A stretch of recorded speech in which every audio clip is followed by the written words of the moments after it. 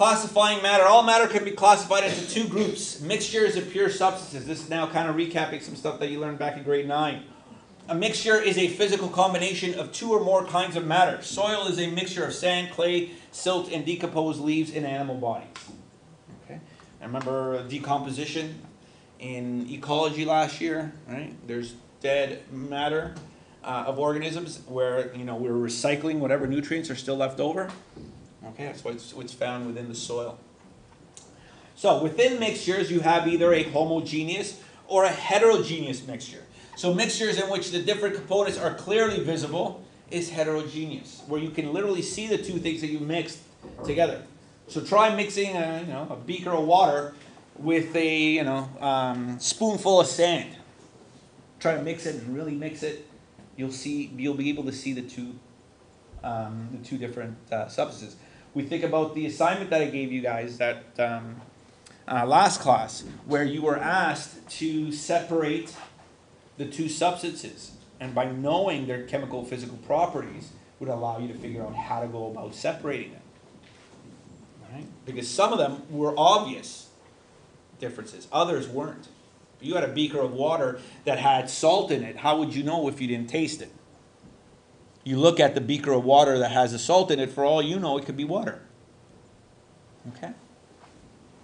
So, uh, mixtures in which the components are blended together that it looks like one substance is called homogeneous mixture. Examples clean air, salt water, grape juice. Um, so, it's pretty much where the consistency is the same throughout, even if you let it sit? Will it still be in the same composition? Because there's some mixtures that might give that appearance, but you let it sit, and then the particles start to separate. Okay, if you've ever had um, things that you, you, you think about paint, right? You got to shake that in order to, to paint. You let, let it sit, you know, for a while. You get it done. You have to go back to reshake it again when you're ready to use it.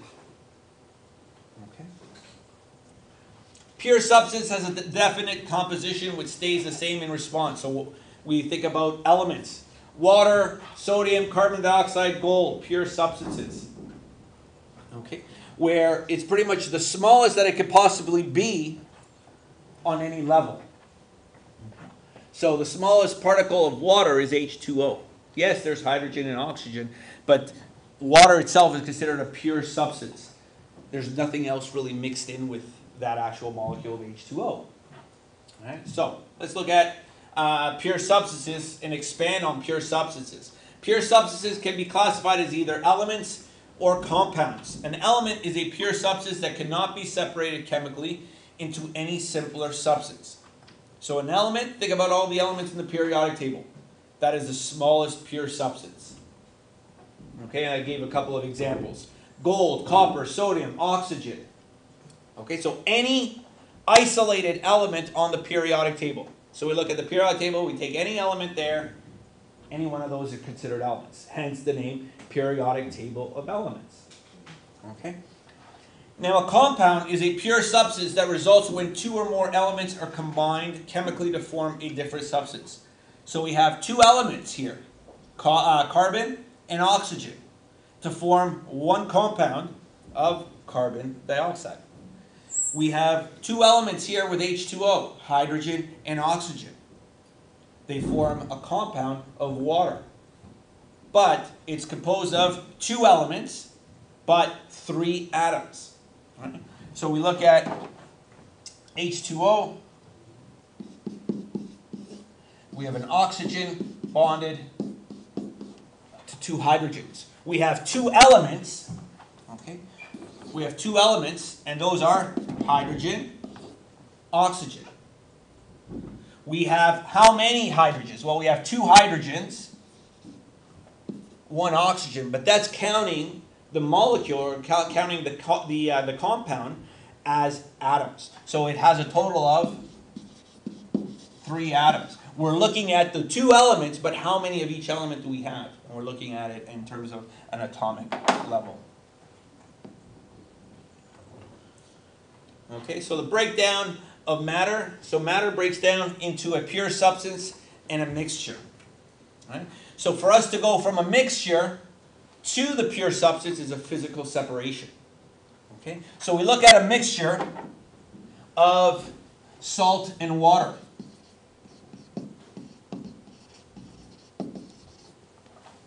Okay? Salt and water. And we know that salt is NaCl, we know water H2O. Okay? Can we see this mixture? No. No. So it's considered homogeneous. It's the same throughout. If you took a sip of salt water from the top, the middle, the bottom, it will all taste the same. It's, it's the same throughout. Okay, so salt and water mixture, homogeneous. But if we did a physical separation of it, we'd separate it into the two pure substances, which are NaCl and H2O. We look at it in terms of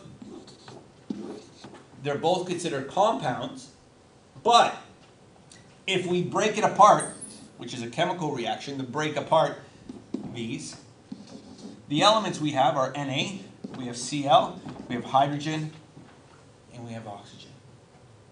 So that's how we look at this, this chart.